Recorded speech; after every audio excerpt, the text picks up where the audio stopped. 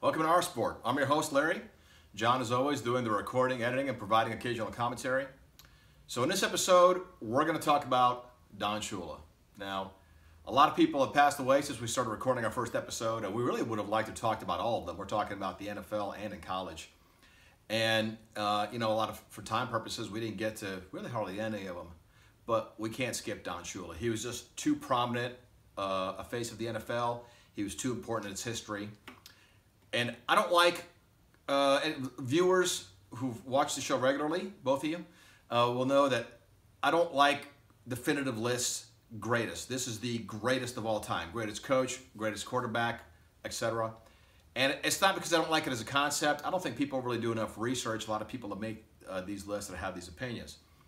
Now, when you have like a list of greatest coaches of all time in the history of the NFL, Shula's got to be on that list. And Shula has at least a case to be the greatest coach of all time. It's a difficult case. He's got so much competition. And that's probably going to be one of our episodes one time uh, which sounds a little hypocritical, you know, saying, saying that I don't like those lists, but we're going to put our research behind it when we do our own. Let's talk about him. He was born in Ohio to Hungarian parents, and um, he graduated from John Carroll University, and he got drafted by the Browns, and so he learned under Paul Brown. That is a great place to learn how to be a coach. That man could be one of the, the greatest coach of all time. So, and this was a smart man. Shula had degrees in three different fields. Okay, so he was an educated man, and when he was playing, people could see ahead of time that he was going to be a coach. He was a defensive play caller from a defensive back position, really unusual at the time, may have been the first. So eventually, Shula gets his chance with the Baltimore Colts. And he takes over a, a terrible team, and immediately they're, they're successful. Immediately they have winning seasons. Shula coached 33 years. He had only two losing seasons in 33 years. He didn't have any Baltimore. Now, the problem was, and Shula said this, he was a young coach. And so he was still making mistakes. He still didn't know exactly what he was doing. Um, well, that's sort of. He knew what he was doing well enough to have winning records all the time and be in playoff contention. I think what he meant is like to take the final step because they had games where in Baltimore they were favored against the Browns one uh, game in the playoffs and they got blown out by the Browns. And of course, the infamous game against Joe Namath, that Baltimore team was statistically, one of the best teams in NFL history would have gone down that way if it wasn't for Namath upsetting them in Super Bowl three. So the Colts ownership got sick of it, and they really were uh, not too much against the idea of him leaving. They thought he could. He's a close but no cigar kind of coach. Well, here come the Dolphins. In their short history, really had not had any success, and Joe Robbie, the owner, was starving for success, starving for respectability, and he plucked Shula out of there and Shula again, I think it took over a three and ten team, immediately got them to, to ten and four and in the playoffs. Um, but then he loses the Super Bowl to the Dallas Cowboys, an ugly game in 1971, and it looks like more of the same. It looks like more of the the kind of Colts syndrome, a close but no cigar kind of thing. Well, the next year was legendary. The next year, not only does Shula win the Super Bowl, and validate everything that good was said about him. They go, as everybody watching this podcast right now, I'm sorry, uh, channel knows right now, they go undefeated. They're 17 and 0. To this day, in 100 years of professional football, still the only undefeated team. Now, there are some people who um, who kind of knock it a little bit. They try to find holes in that resume.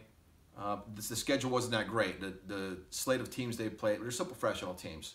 You know, if you played 14 games against an Arizona Cardinals type of schedule, uh, the that modern day equivalent of that team, you still have to win all of them, and that's still unlikely in this league. Even uh, teams like the Cardinals win four or five games a year. They won all theirs, and then they won all their playoff games. You have to give them credit for that. You can't just dismiss that and say, well, their schedule was too easy. So Shula validates that. Um, the concerns about him, and then the next year, 1973, they won a Super Bowl again. So there's no doubt now.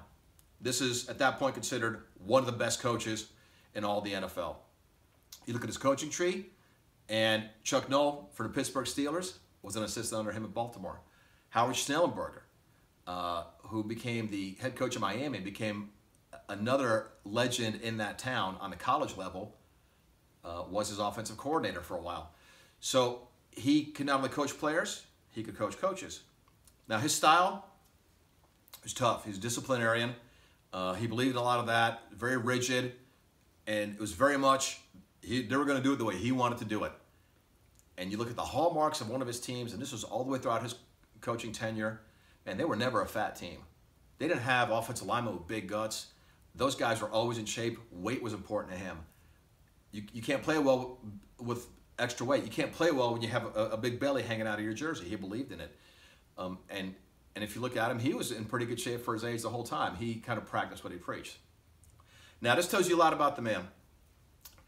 He was regarded as classy. He was regarded as someone who was genuine, who did things the right way, who was not a liar, was not a cheater. Um, say what you want about the Patriots and Bill Belichick, and I'm not I'm not knocking what they've done, but nobody ever called Don Shula a cheater. Nobody ever accused him of that. And he was kind of regarded that way, like I said, as a, as a classy figure to to this point even. When he won his game that uh, the 325th victory, it was against the Philadelphia Eagles. It set the record for most coaching wins in the history of professional football. He beat George Halas. His players didn't throw Gatorade on him. They said, you know what? The way he acts, they, they, they felt like he almost had like a regal aspect to him. Said this man is just became the winningest coach of all time. You don't want to see him look like a wet rat. So they did not pour Gatorade on him, but they sure put him on their shoulders and they carried him off the field. He had a lot of respect from his players. Um, his players felt a lot of endearment from, for him. You hear a lot of stories about that, a lot of respect from him about how he treated them, how he cared about them. Now, another thing about Shula, very, very sound in terms of a great coach uses what he has. The 72 team, the early 70s team, they were just a dominant run team because they had a great offensive line and three great backs. Well, that was just him playing to his talents, him playing to the strengths of his team. He gets he's uh, Dan Marino in 1983 in that draft, and he totally pivots. He totally becomes the opposite of what had been, which is they're going to throw the ball everywhere. Because it probably took one practice of seeing Dan Marino to realize, oh my God, look at the talent on this guy. And then the fans all saw it. The ball explodes out of his hands, the whiplash release, the cannon arm, the way he just carves up defenses. And Marino starts the second half of the 83 season, does great, like 20 touchdowns and six interceptions in half a season. The next year, he throws for 5,000 yards and 48 touchdowns. Now, a 5,000 yard season to this day is not that commonplace. It's not unheard of. Drew Brees has what, four of them, John? Drew Brees is the only one who has more than one. He's the only one that has more. And Drew Brees has like seven. He has a lot. Drew Brees is Drew great. Is good, yeah. But nobody was doing this back then. Dan Marino was the first, and somebody had to be the first, but then nobody had another 5,000 yard season for like 20 years. It was all him, and that's how great he was. And Shula just unleashed him. And they went to the Super Bowl in Marino's second year and lost to really a better team. Uh, the San Francisco 49ers, uh, Bill Walsh, Joe Montana, they were not beating that team. Uh, Ronnie Lott, too many good players. Now, here's what I think really kind of hurt Shula's career toward the end. He had more and more control over personnel. And Shula and Belichick's like this to a certain extent too. As great as a coach as he is, he is not the greatest personnel man. And their talent started to dip some. So they went from being basically a 12 and 4 level team to a 10 and 6, not, uh, 9 and 7 level team because they were not going to be a 5 11 team. He's just too good. And they did have some good players. They had drafted Richmond Webb. They hit on John Offerdahl, but man, that dude was always hurt. But when Offerdahl, uh, the linebacker, I mean, when Offerdahl was healthy, he was an all pro. He was just never healthy. So they would hit occasionally, but they did not have enough hits coming out of college in the draft. Also, and you know, they had kind of a revival in 1990. Halfway through the year, the Dolphins had the number one defense in the NFL. But that year, uh, the Bills emerged, and the Bills were in their division. And the Bills were a much more complete team. Marino really never had a thousand yard rusher um, under Shula, which hurt him. Look how much it helped John Elway when he got Terrell Davis. You gave him a running game to take the pressure off of him, to force huge holes in the defense and a passing game through play action. He never had that, so Marino had to carry the team by himself and still made the playoffs about every year. But here come the Bills. And their Hall of Fame quarterback, Jim Kelly, who I know he's in a Hall of Fame. I'm sorry, I've seen him play. He's not in the same universe as Dan Marino. But he had a Hall of Fame receiver, he had a Hall of Fame back, he had Hall of Famers on defense, And that helps your quarterback as much as players on his side of the ball because you don't have to score 35 points to win a game. They were a more complete team. And the Bills go to four straight Super Bowls, really control that division. And as well as the Dolphins played, they could not overcome that team.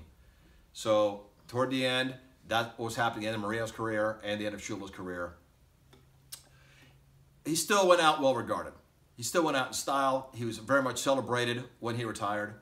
And John is going to post uh, a short clip, a kind of well-known story about him that tells you about his character and integrity. He's going to put it right after I speak.